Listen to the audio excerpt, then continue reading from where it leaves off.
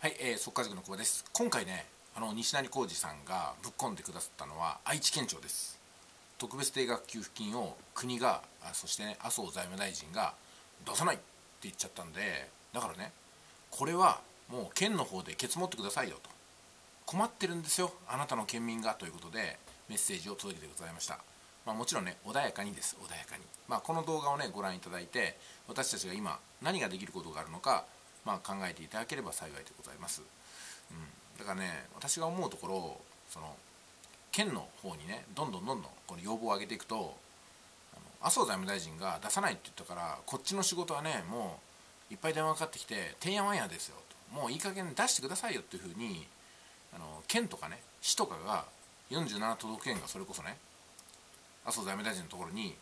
もうねクレームを入れてくれればこれは動きやすいんじゃないかなと思うんですよ。どうですかね？まあ、無駄なことかもしれませんけどもやらないのが一番無駄かなと思っちゃうんでね、えー、やって無駄だと思う人はやらないでください。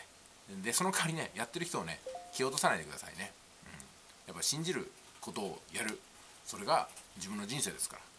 いいじゃないですかね。それぞれ思うことをやっていく。ぶつけていけば。じゃあ浩二さんの動画 URL からご覧ください。どうぞ。